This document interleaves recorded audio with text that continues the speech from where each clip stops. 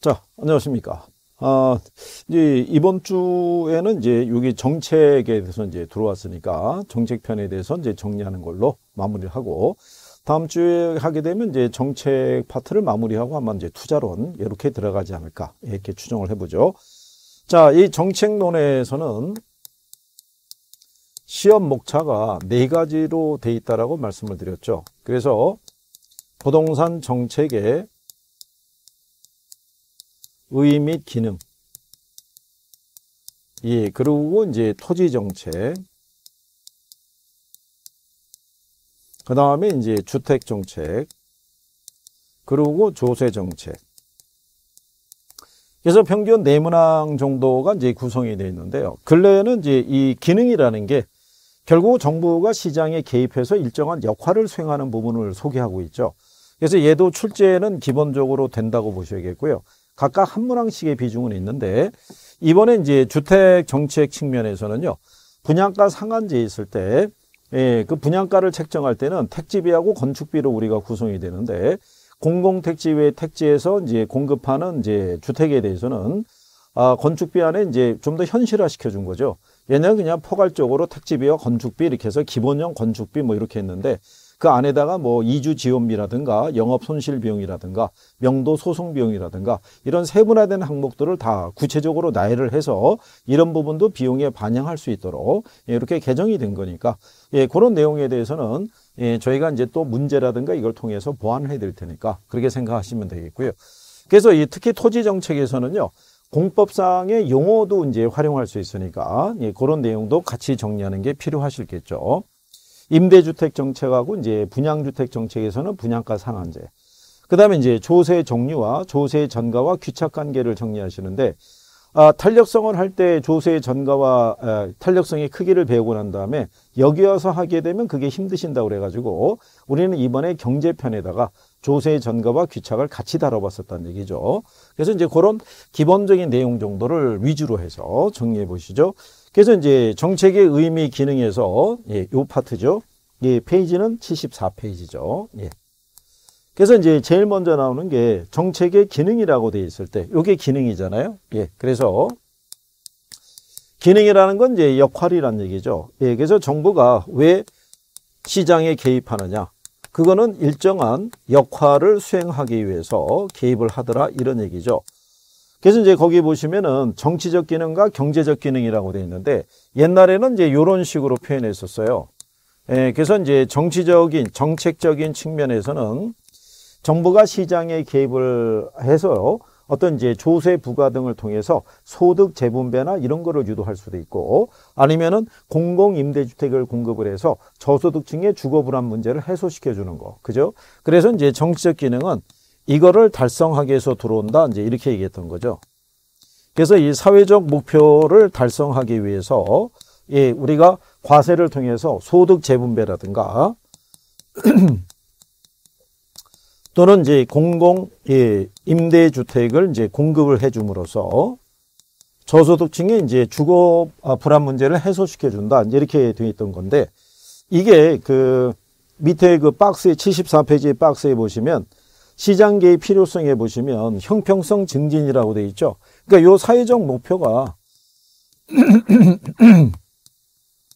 이거를 증진시키는 데 목적이 있다. 이런 얘기죠. 그래서 이 거기 보시면은 사회 발전의 과실이 부동산 소유주에게 편중되는 것에 대한 보완. 그러니까 결국은 뭐를 얘기하냐면 과세를 통해서 소득 재분배 효과를 유도하든가 아니면 주거 공간과 같은 가치제에 대한 최소한의 소비 보장이 있죠. 그럼 거기서의 가치제라는 거는 뭐를 얘기하냐면 정부는 시민들이 인간다운 삶을 살게 하기 위해서 최소한 소비시켜줘야 되는 재화를 가치제라고 그러죠. 그래서 그 안에는 주거 서비스, 의료 서비스, 교육 서비스가 있는데 그 중에 대표적인 게 이제 주거 서비스죠. 그래서 이런 공공주택을 공급을 함으로써 주거 서비스를 이제 시장에 제공한다 이런 역할이겠죠. 그래서 이제 이런 식으로 표현이 나오니까 같이 묶어서 정리하시는 게 필요할 거고요. 그 다음에 이제 경제적인 측면에서는 시장 실패를 보완하기 위해서 들어온다. 이런 얘기죠. 예. 시장의 실패를 이제 수정하기 위해서. 이거는 이제 거기 보시면 시장 실패 보완이라고 그 박스에 가면 나와 있죠. 그래서 외부 효과에 대한 보완. 왜? 시장 실패를 유발하는 대표적인 요인이 외부 효과잖아요. 외부 효과 또는 공공재. 그죠? 예.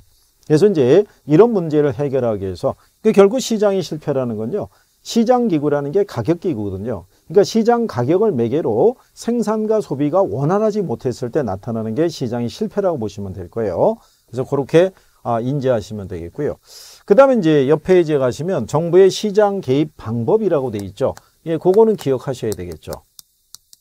그래서 이 방법에서는 주로 물어보는 게 뭘 물어보냐면 직접 개입과 간접 개입을 구별할 수 있느냐를 물어보죠. 예, 그래서 직접 개입에 해당한다는 얘기는 정부가 시장에 참여해서 수요자 및 공급자로서의 역할을 수행하는 걸 얘기하겠죠. 예, 그래서 그 안에 들어가는 게 공영개발이라고 있죠. 근데 공영개발을 낼 때 공영개발이라고 내기도 하고요. 그 안에 가게 되면 매수 또는 수용 방식이라고 해놨죠. 예, 이렇게도 표현을 하기도 해요. 그 다음에 이제 두 번째로 공공토지 비축제도. 이 공공토지 비축할 때 요거는 또 토지은행 제도다 이렇게도 표현하죠. 예. 그러니까 이렇게 나올 수도 있고 이렇게 나올 수도 있다 이런 얘기죠. 그 다음에 이제 아, 공공투자 사업이라든가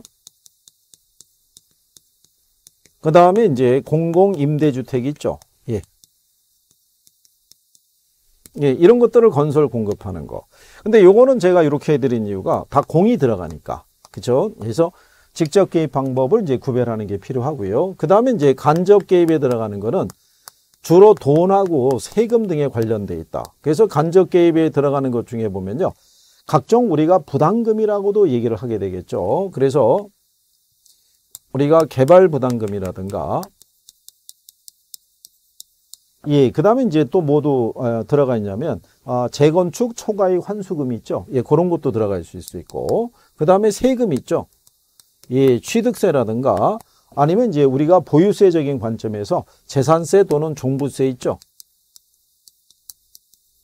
예, 이런 거 얘기할 수 있고. 그 다음에 이제 담보 인정 비율이라든가 그렇죠? 예, 또는 총부채 상환 비율 있죠. 예, 이런 거를 가지고 조정하는 거죠. 그러니까 간접 개입은 정부가 시장에 직접 들어오는 게 아니라 시장에 참여하는 사람들의 경제적인 동기, 즉 이윤의 크기를 조정한다라고 생각하시면 되겠죠. 예, 그래서 직접 개입과 간접 개입 정도는 어, 여러분들이 구별하는 게 필요하시겠죠. 그리고 이제 토지용 규제를 한다는 얘기는요. 시장에서 바람직하지 못한 토지 이용을 갖다가 차단시키는 거죠. 예, 그래서 어, 사회적으로 봤을 때 바람직한 방향으로 유도하기 위해서 시행하는 게 토지용 규제라고 보시면 되겠고 거기에 가장 대표적인 게 이제 지역 지구제가 되겠죠. 그 다음에 이제 거기 75페이지 하단에 가게 되면요. 현재 우리나라에서 시행되고 있는 제도 있죠. 이게 여러분 시험상에서 인용이 됐던 애들을 묶어 놓은 거예요. 그래서 여기서 표현된 애들은 아, 현재 시행이 되고 있구나. 그 중에서도 이제 4번의 주거급여제도 같은 경우도 예, 주거급여법에 의해서 현재 시행이 되고 있다라는 거. 그래서 제목 정도는 예, 구별하시는 게 필요하고요. 대신에 뒤로 넘어가시면 현재 우리나라에서 시행되고 있지 않는 제도 있죠. 택지 소유 상한제 토지 초과 이득세제는 우리가 아, 위헌 판정을 받아서 다 폐지됐다고 얘기를 했고요. 개발권 양도제는 아직 도입이 안 돼 있다 이렇게 생각하시면 되겠죠. 예, 그리고 이제 거기에다가 종합토지세 같은 경우도 이게 폐지돼서 없는 거죠. 예, 그 다음에 공환지세 이런 것들도 역시 없어요. 근데 요 표현에 대해서는 어, 중개사 시험에서 언급이 된 건 아니고요. 유관 시험에서 언급이 된 거니까 이런 것까지는 아직은 시행이 안 되고 있다. 예, 그 중에서도 택지 소유상한제, 토지 초과 이득세 예, 이런 애들은 자주 활용하니까 예, 그런 애들은 기본적으로 정리는 꼭 해두셔야 된다는 거죠. 예, 그래서 이제 요 내용에 대해서 알아봤고요. 그 다음에 이제 77페이지에 가면 시장 실패의 원인이라고 나와 있죠. 예.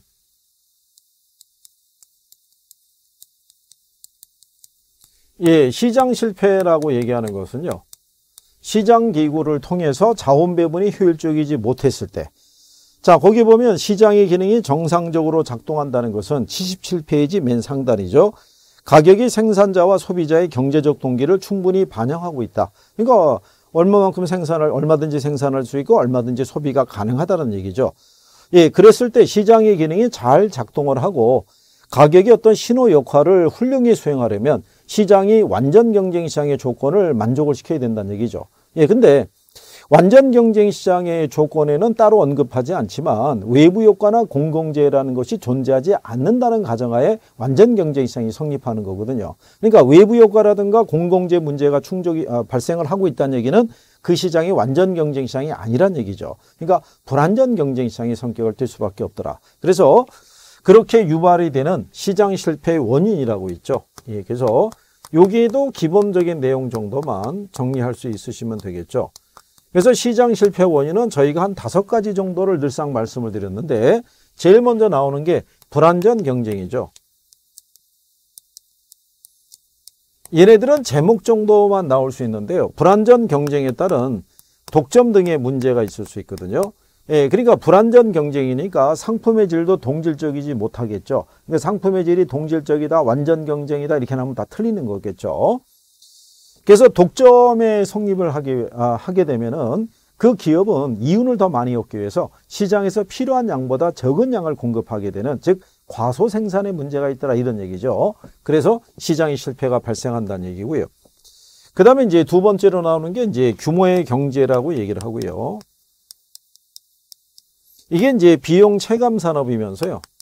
얘가 이제 자연 독점의 문제가 발생하더라 이런 얘기죠. 이 규모의 경제라는 것은 장기적으로 기업이 생산을 증가시킬수록 평균 비용이 감소되는 것을 규모의 경제라고 얘기를 하게 되겠죠. 예, 그런데 아, 우리나라에서도 왜 기간 산업이 있죠. 철도라든가 통신이라든가 이런 것들은 대부분 선과 연결이 돼 있다고 그랬죠. 이렇게 전국의 모든 게 다 연결이 돼 있죠. 그렇지 않겠어요? 예, 그래서 이게 국가 기간 산업에 해당이 되기 때문에 초기에는 대부분 정부가 공기업을 내세워서 운영을 하게 되겠죠. 그럼 우리나라에서도 철도공단에서는 전국에다가 이제 이 철도를 다 부설을 해놨죠. 그럼 초기에는 막대한 비용이 들어갔어도 시간이 오랜 시간이 경과하면서 이용객 수가 많아지다 보니까 초기에 들어갔던 비용 대비 1인당 단가가 그렇게 비싸진 않다는 얘기죠. 그러니까는 지금은 뭐 서울에서 부산이 됐던 서울에서 광주가 됐든 간에 고속철 같은 거 이용하면은 5만 원 안쪽에서 이용이 가능하게끔 운임이 책정이 될 수가 있는데 만약에 민간 기업이 새롭게 이 시장에 들어오게 되면은 이 철도나 이걸 다 부설해야 되면은 부동산 다 매입을 해야 되죠. 철도 부설해야 되죠. 그 다음에 기차 차량 들어와야 되죠. 막대한 비용이 들어간다는 얘기죠. 그러면 이용객 수는 많지는 않은데 초기 비용이 많이 들어갔잖아요. 그러니까는 1인당 생산 단가가 비싸게 되니까 그러니까는 기존에 들어와서 자리를 차지하고 있는 국가 공기업들이 자연스럽게 독점을 취할 수밖에 없다는 얘기죠. 예, 그래서 그런 문제가 발생할 수 있는 게 이제 규모의 경제에서 나타난다. 그래서 이런 것들도 시장을 실패하게 되는 원인이 되더라 이런 얘기죠. 그러니까 자연스럽게 독점의 형태가 나타나더라 이런 얘기죠.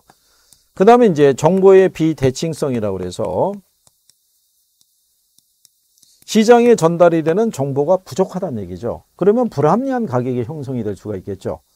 예, 그래서 이제 부동산 시장에서도 어, 1년에 한 번씩 가격 공시대를 통해서 토지 가격과 주택 가격에 관한 기본적인 정보가 제공이 안 되면 시장에선 거래하기가 참 어, 부담스럽죠. 이게 적정한 가격인지 아닌지. 그러면 자원 배분이 효율적으로 안 이루어지겠죠. 그래서 이제 시장의 실패가 발생할 수 있다 이런 얘기죠. 그래서 얘네가 나오는 거는 제목 정도만 나오는 거예요. 그럼 여러분 시험에 별도로 언급이 될 수 있는 거는 공공재하고 외부 효과 문제가 있다라고 얘기했었죠. 그래서 77페이지 맨 하단에 가게 되면 공공재라고 등장을 하게 되겠죠. 그래서 기본적인 성격은 알아야 된다는 얘기죠. 그래서 이게 공공재라는 것이 충족이 되기 위해서는 이게 들어가야 된다고 그랬었죠. 예. 그래서 비경합성과 비배제성의 논리가.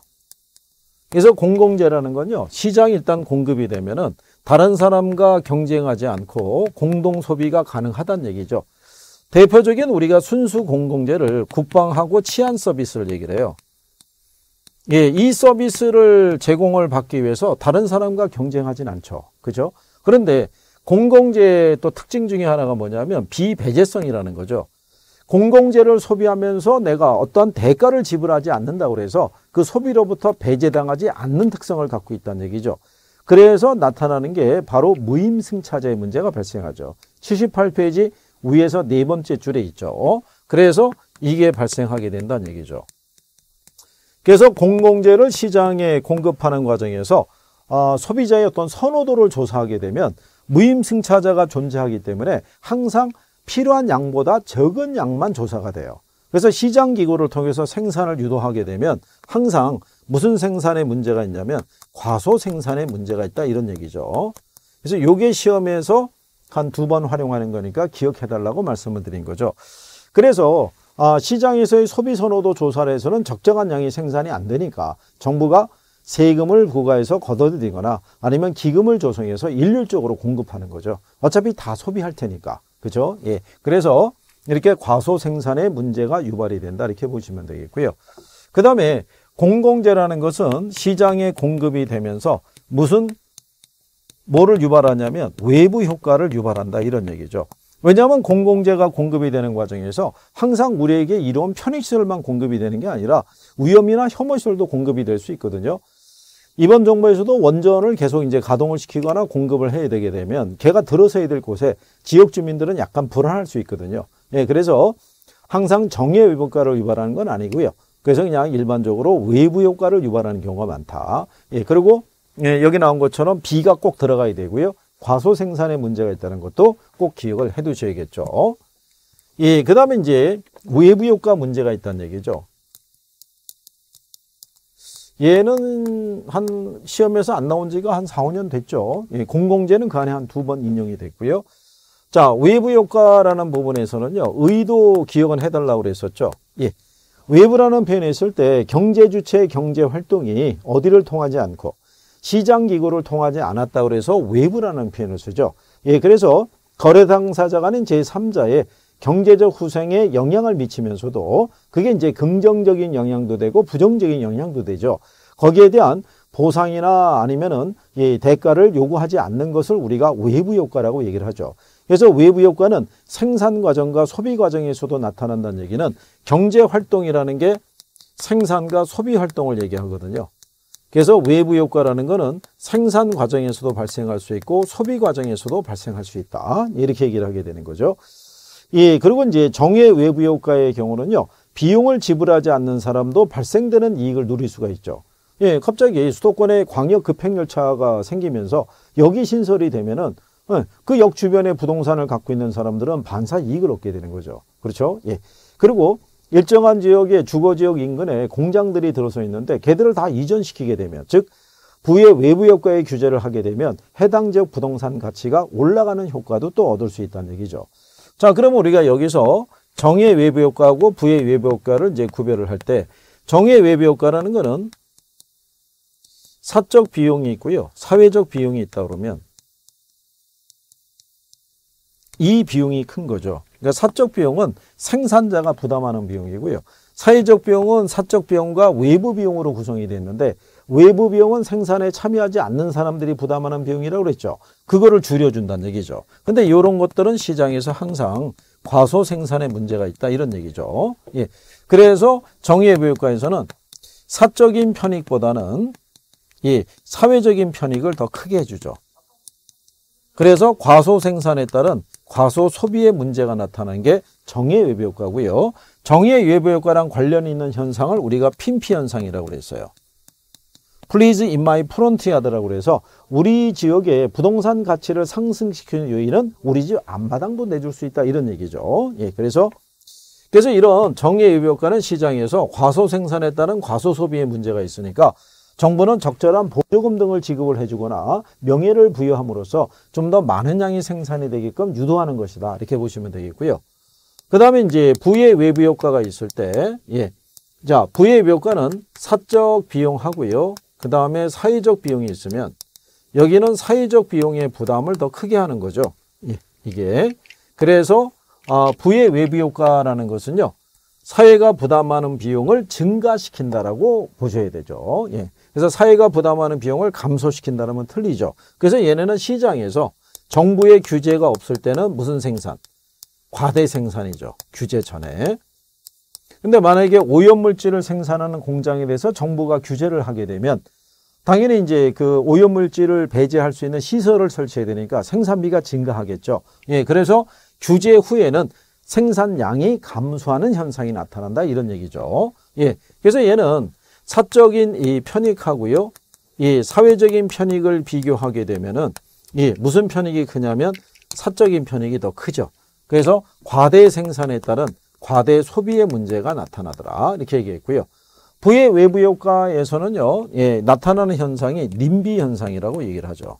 나딘마이 뺑 야드라고 그래서 우리 동네의 부동산 가치를 떨어뜨릴 수 있는 요인은 절대로 용납할 수가 없다. 얼씬도 하지 못한다. 그래서 일종의 지역 이기주의라고도 얘기를 하죠. 만약에 여러분들이 거주하고 있는 지역에 공원이 조성이 된다 그러면 예, 뭐 좋은 일이네 이건 넘어가겠는데 여러분이 거주하는 주거 지역에 쓰레기 처리장을 집어넣겠다, 화장장을 집어넣겠다는 계획이 나오면 반발하죠. 예, 그래서 다 지역 이기주의 현상이다. 그래서 정가 부의 효과에 대한 기본적인 성격은 알아두셔야 된다는 얘기죠. 그래서 이런 외부 효과의 문제를 해결하기 위한 해결책이라고 있다는 얘기죠. 그래서 해결책 중에 보면은 정부가 시장에 개입해서 지역 지구제 같은 것도 있죠. 토지 이용 규제 같은 방법을 쓸 수도 있고요. 아니면 협상에 의한 해결이라고 해서 코지의 정리라고도 있어요. 소유권이 적절하게 설정이 되면 시장기구가 스스로 협상을 통해서 문제를 해결할 수 있다. 그러니까 층간소음을 통해서 발생하는 피해 있죠. 예, 사람들은 누구나 평온하게 지낼 수 있는 권리가 있거든요. 그러니까 그 권리에 대한 부분이 침해가 됐을 때 그 부분에 대한 적절한 보상 기준을 가이드를 제시해 주게 되면 어, 이해 당사자 간의 협의에 의해서 그 문제가 해결이 될 수 있다는 얘기죠. 그래서 소음 기준을 마련해주고 일정한 예, 소음 기준을 넘어서게 되면 시간당 얼마씩 배상을 해줘야 된다. 그래서 그 기준을 제시했을 때 그게 서로 협상을 통해서 마음에 맞으면 그냥 그대로 해서 예, 감수하는 거고 소음이 나더라도 그렇지 않다라고 그러면은 협상은 결렬이 되는 거죠. 그러니까 그런 걸 하게 되면 자체적으로 해결할 수 있다. 예, 그리고 아니면은 합병을 통해서 외부 효과를 유발하는 기업과 피해를 보는 기업 간에 합병을 하게 되면 문제가 해결이 되죠. 그래서 통상 이제 경제에서 나오는 예로는 연탄 공장하고 옆에 세탁소가 있으면 둘이 합병을 하면 문제가 해결이 될 수 있다. 뭐 이런 요건이라고 말씀드렸었어요. 예, 그러고 난 다음에 어, 이게 해결책이 이제 그런 게 있는데 거기 보시면은 정부의 실패라고 박스가 있죠. 시장의 실패를 해결하기 위해서 정부가 개입을 할 때 모든 문제가 완벽하게 해결이 되지 않고요. 오히려 정부의 실패가 나타날 수 있다라고 얘기를 해요. 그래서 정부가 시장에 개입을 함으로써 사회적 후생 손실을 초래할 수 있다. 네, 이게 시험에 나온 거죠. 그리고 이제 정부가 음, 분양가 상한제 있죠. 예, 얘네를 적용을 함으로써 뭐가 사회적 후생 손실을 발생시키다. 분양가 상한제를 적용하게 되면 시장에 공급되는 양이 줄어들잖아요. 필요한 양보다. 그를 통한 사회적 후생 손실이 발생할 수 있다. 이런 그러니까 부분까지는 같이 묶어서 정리하시면 될 거예요. 예. 그래서 이제 이렇게 정리해 드렸고요. 그 다음에 이제 그 밑에 하단에 보면 예상 문제라고 되어 있죠. 다음 중에 올바른 것이 몇 개냐 이렇게 물어봤을 때 예, 거기 보시면 개발부담금 부과제도는 정부의 직접적인 시장 개입이라는 게 틀린 거죠. 예, 그거는 간접적인 예, 개입 방법이고요. 금융지원 정책은 간접 개입 방식에 해당이 된다는 건 맞는 편이죠. 그 다음에 정부의 시장 개입, 분양가 상한제는 사회적 후생 손실을 발생시킬 수 있다. 지금 설명해 드린 거죠. 예. 그 다음에 공공재 공급을 사적 시장에 맡기면 사회에서 필요한 양만큼 충분히 생산이 된다면 틀리죠. 과소 생산에 문제가 있다라고 말씀을 드린 거고요. 부의 외부 효과가 발생하는 제어의 경우에 시장에만 맡겨두면 지나치게 많이 생산이 될 수 있죠. 예, 맞는 편이죠. 부의 효과는 사회가 부담하는 비용을 감소시킨다 그러면 틀리죠. 오히려 증가시킨다. 그래서 맞는 게 이렇게 2번, 3번, 그 다음에 5번 이렇게 세 개가 된다는 얘기죠. 예. 그래서 이런 것들이 내용을 듣고 아 이런 식의 표현으로 출제가 되는구나. 아 이거는 정도면 내가 알 수 있겠다. 예, 이런 정도만 되시면 무난하죠. 예. 그 다음에 이제 뒤로 넘어가시면 이제 토지 정책이라고 나오죠. 예. 그러면 정부가 이 토지 정책을 펼칠 때요. 토지 시장도 불안전한 시장이거든요. 그러니까 이 토지 정책을 전개하는 과정에서 정부가 시장에 개입할 때는 일정한 목적을 달성하기 위해서 들어오거든요. 그래서 그게 첫 번째가 뭐냐면 자 시장에서 발생하는 부의 외부 효과 문제를 조정하기 위해서 그죠? 그래서 얘를 조정하기 위해서 쓰는 게 토지 이용 규제가 되겠고요. 토지 이용 규제의 가장 대표적인 수단이 이제 지역 지구제라고 보시면 되겠죠. 그 다음에 이제 공공재로서의 토지를 확보하기 위해서 이때 쓸 수 있는 이제 대표적인 정책이 토지 은행 제도죠. 예, 그래서 이제 토지 정책 수단 안에 그래서 이제 거기 밑에 가면은 의 밑에 토지용 규제가 나오죠. 예. 이거는 이제 토지용 계획을 수립을 하고 난 다음에 이거를 이제 실행하는 관점에서 토지용 규제라는 게 언급이 되는 거죠. 결론적으로 이 토지용 규제를 한다는 얘기는요. 원래 도입의 목적은 해당 지역에 어울리지 않는 토지용의 침입을 배제시킴으로써 해당 지역 주민들의 재산권을 보호하는 데 취지가 있었는데 지금은 보다 강력한 토지 이용을 규제할 수 있는 수단으로 쓰여지는 거죠. 예, 그래서 이 토지용 규제를 통했을 때 가장 대표적인 수단으로 쓰는 게 이제 용도 지역제다라고 얘기를 하죠. 그러니까 지역지구제 생각하시면 되겠죠. 그래서 얘를 시행하는 이유는 시장에서 발생하는 외부 효과 문제를 해결하기 위해서. 그죠? 예. 그래서 81페이지 상단에 가게 되면 목적이라고 그랬을 때 첫 번째가 부의 비효과 제거 및 감소와 토지 이용의 효율성을 제거하기 위해서 그렇다. 예, 그러니까 그거는 꼭 기억하셔야 되겠죠. 부의 외부 이것 또는 뭐 하기 위해서 감소하기 위해서 또는 토지 이용에 따른 효율성을 높이기 위해서 시행하는 게 예, 그게 지역 지구제라고 이렇게 보시면 되겠죠. 그래서 단기하고 장기에 대한 효과는 이제 별도 많이 언급이 되지는 않고요. 예. 그래서 이런 지역지구제를 또 시행하게 되면은 긍정적인 것만 있는 게 아니라 이제 부정적인 것도 있다는 얘기죠. 그래서 독점 문제는 사전적 독점이 문제가 된다고 그랬죠. 어느 지역이 주거 전용 지역으로 지정된다는 정보를 사전에 입수한 사람은 오르기 전에 가격으로 매입하니까 초과인을 얻을 수 있지만 그 계획이 발표가 된 다음에 시장에 진입하는 사람은 정상 이윤밖에 얻을 수가 없어서 사전적 독점이 문제가 되고요. 우리나라의 지역지구제 문제점 중에 하나가 뭐냐면 예, 지역지구제를 시행했을 때 나타나는 문제점 중에서는 토지 이용 규제에 따르는 형평성 문제가 있고요. 또는 이 토지용 규제에 따르는 경직성 문제가 있죠. 예, 형평성 문제와 경직성 문제. 그래서 이 토지용 규제에 따르는 형평성 문제를 해결하기 위해서 예, 우리가 이제 도입할 수 있는 게 그게 개발권 양도제라는 거죠. 82페이지에. 예. 그래서 이 개발권 양도제라는 것은요. 아, 토지용 규제에 따르는 형평성 문제를 완화시키기 위해서 하는 게 개발권 양도제라고 보시면 되겠죠. 근데 개발권 양도제라는 거는 아직 우리나라에서는 시행이 안 되고 있다 이런 얘기죠. 그죠? 예, 그래서 개발권 양도제라는 거는 토지 이용 규제에서 나타나는 형평성 문제를 완화시키기 위해서 예, 그래서 도입하는 게 개발권 양도제도인데 예, 이게 이제 여기서 한 가지 알아두실 거는 현재 우리나라에서는 시행이 안 되고 있다는 거. 예. 그래서 그게 의에 보면 나와 있죠. 예, 그래서 요거는 토지의 소유권과 개발권을 이제 분리시킨다라고 얘기하는 것은요. 여기 일정한 지역이 있는데 원래 여기는 용적률을 500%를 줬던 거예요. 근데 정부가 규제를 해가지고 100% 이상은 이용이 안 되도록. 그러면 나머지 400%의 공간을 이용을 못하게 되니까 재산권 행사에 제약이 있죠. 그러면 여기 따른 뭐를 보게 되냐면 손실을. 그러면 이 손실에 대해서 정부가 금전 보상해 주는 게 아니고요. 정부는 이 손실분에 해당하는 만큼에 대한 개발권을 발급을 해 주는 거죠. 그리고 대신에 이 개발권이 양도가 가능하도록. 근데 이쪽 지역에서는 원래 용적률이 한 900%였어요. 근데 정부는 규제를 통해 가지고 500% 이상은 이용을 못하도록 묶어버린 거죠.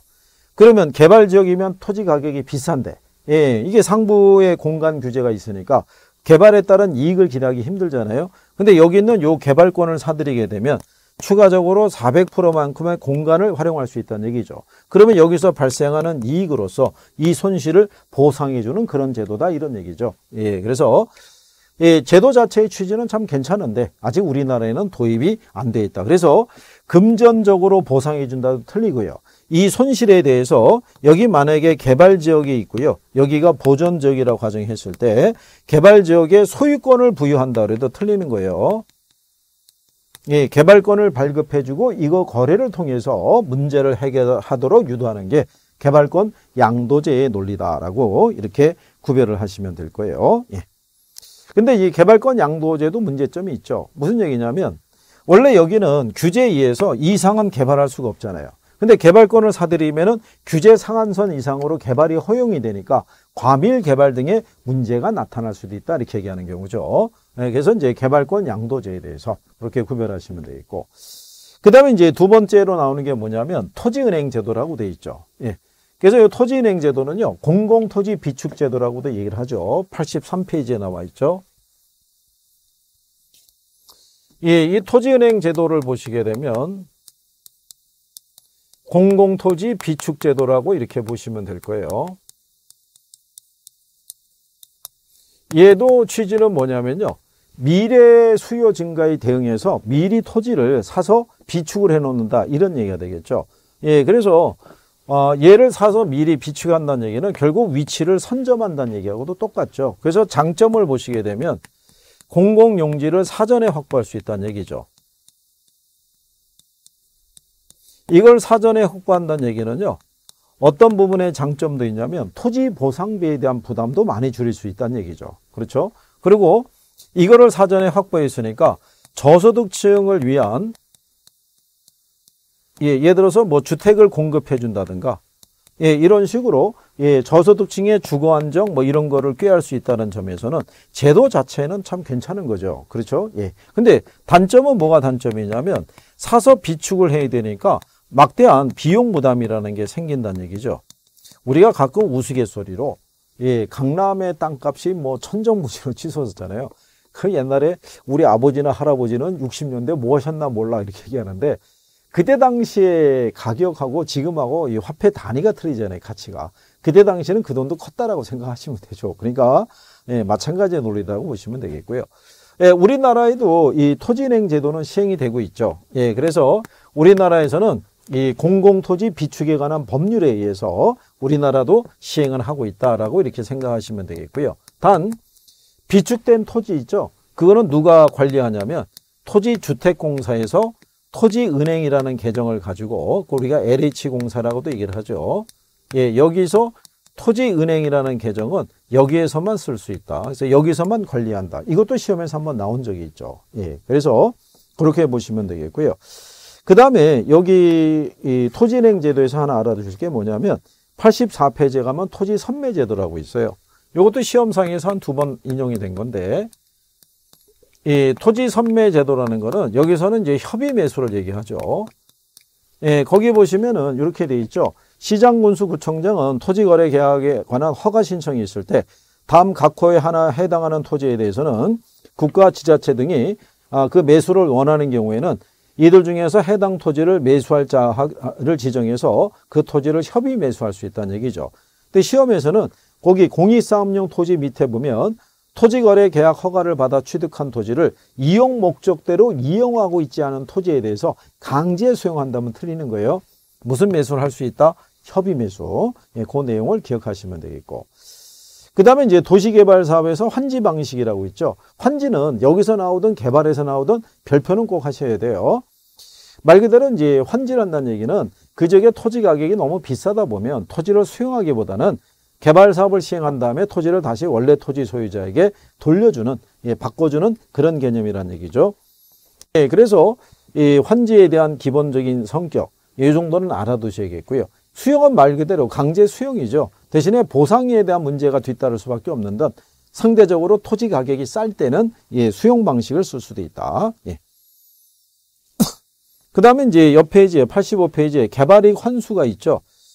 거기 개발이익이라는 것은요. 개발 사업의 시행으로 정상 지가 상승분을 초과해서 발생하는 이익에 대해서 환수할 수 있을 때 그때 이제 부과되는 부분이 개발 부담금이다라는 것을 기억을 하시면 되겠고요. 그 다음에 재건축 부담금이라고 그래서 재건축 초과이익이라고 그러죠. 우리가 강남에 재건축 사업을 추진하면서 조합원들이 얻는 이익이 3천만 원을 초과하게 되면 초과분의 50%를 부과해서 환수하는 그런 제도다라고 보시면 될 거예요. 그래서 에서는 어느 정도 법령의 정비도 돼 있고 그런데 개발 손실에 대한 보상은 아직은 예, 그렇게 예, 뚜렷하게 나타나지는 않는다 이렇게 보시면 되겠고요. 그 다음에 이제 85페이지 하단에 가게 되면 국토교통부 장관은 개발 제한 구역을 우리가 지정할 수 있다. 예, 이렇게 여러분들이 보시면 되겠고요. 그리고 이제 뒤로 넘어가시게 되면 공공임대 보유와 공공투자 사업이 있고요. 토지 공개념 제도라고 있죠. 토지 공개념 제도는 이 토지 국유하고는 반대되는 개념이죠. 그러니까 개인의 소유권을 인정을 하는데 절대적인 권리로 보지 않고 그 권리를 행사할 때 제약을 둘 수 있다. 그래서 예전에 아, 토지 공개념에 관한 3대 법안에 의해서 택지 소유 상한제, 토지 초과 이득세를 도입을 했다가 그러니까 IMF가 터지고 난 다음에 둘 다 폐기됐다 이런 얘기죠. 그래서 86페이지에 아, 밑에서 두 번째 줄에 가시게 되면 헌재에 의해서 토지 초과 이득세법의 헌법 불합치 결정을 택지 소유 상한법의 우연 결정을 해서 폐기가 됐다. 그래서 현재 우리나라에서는 시행되고 있지 않은 제도다. 예, 거기까지 기억을 해 두시면 될 거예요. 자, 그래서 이번 주는 우리가 이 토지 정책에 대한 내용까지 정리를 해 보신 거죠. 그래서 다음 주에는 주택 정책, 조세 정책, 그리고 예, 투자론 예, 이렇게 이어서 요약 정리를 하는 시간을 갖도록 하겠습니다. 자, 강의 듣느라고 고생들 많으셨습니다.